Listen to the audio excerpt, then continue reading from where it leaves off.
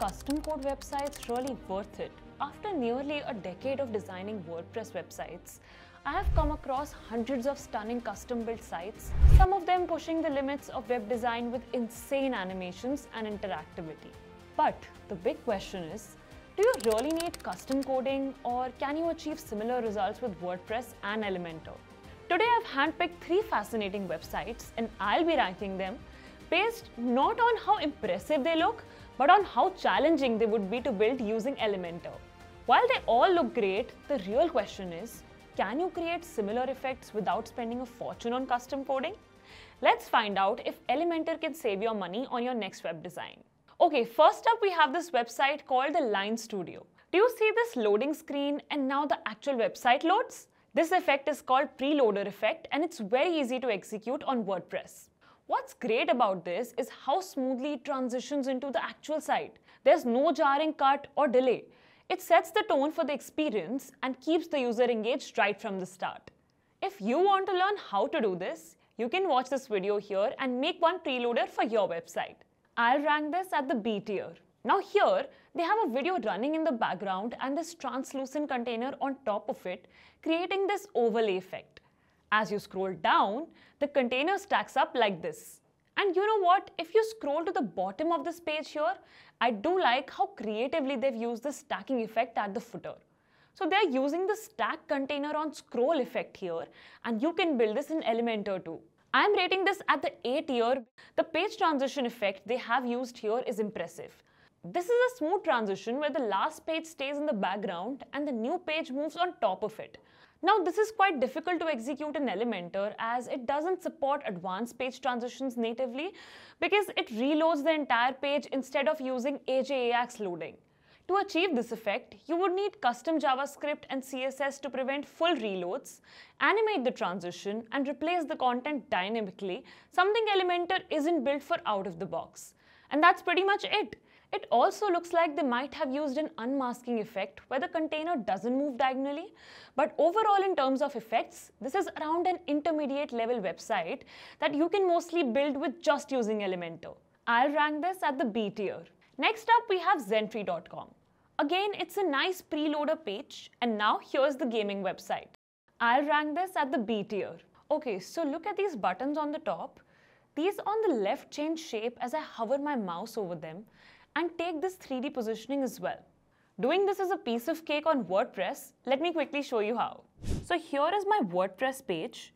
I'll drag and drop a button here. Now go to the Style tab and then hover.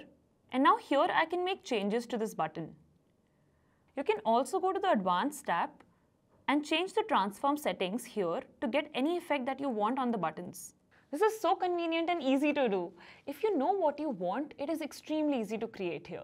Moving back to the Zentry website, the effect on the right side buttons need custom coding to make it work on WordPress. Slightly advanced. Now as I scroll down, the hero section decreases in size and goes out of view. And the image in the next container expands and reveals. This is called expand image on scroll. You can click here to learn how to build that. I am rating this at the A tier. The hero section has the same effect but in reverse. If you want, you can make changes to the code I've provided in the other video and make it function like this. Scrolling down, you can see these cards are laid out in a particular order. This is called a bento grid layout, which is super easy to execute. Check out this video to see how you can make them. I'll rank this at the B tier. Okay, now here you can see this timeline.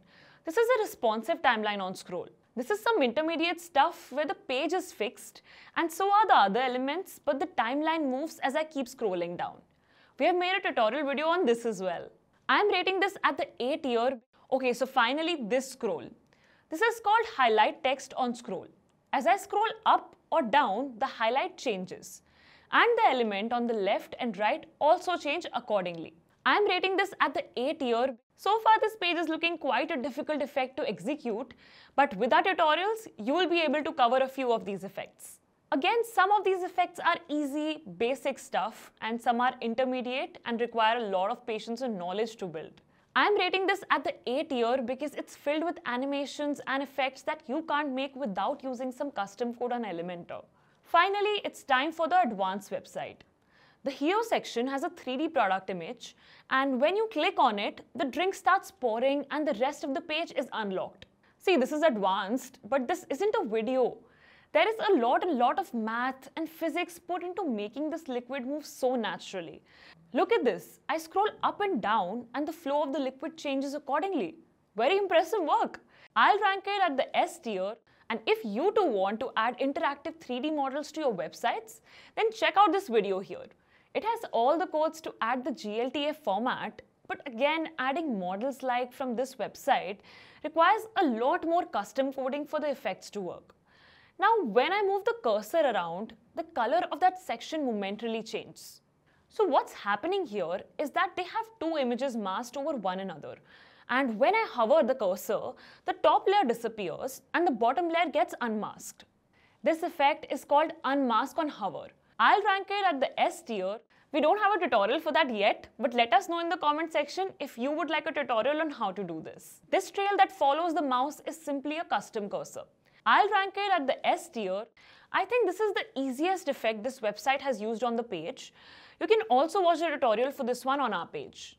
Now there are a bunch of different effects like these fruit icons appearing as I hover over the text.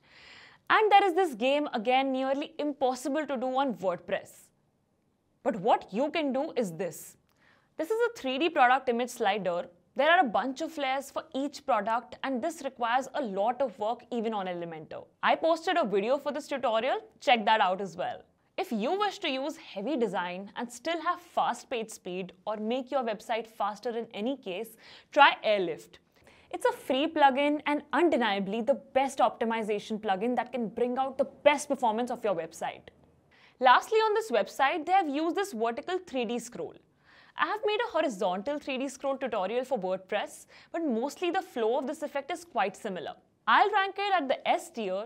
That said, after analyzing the site completely and checking all the custom assets, it's quite a marvel. I'll rank it at the S tier where nearly all the god level website designs go. Making something like this in Elementor is quite a task and will definitely be a challenge.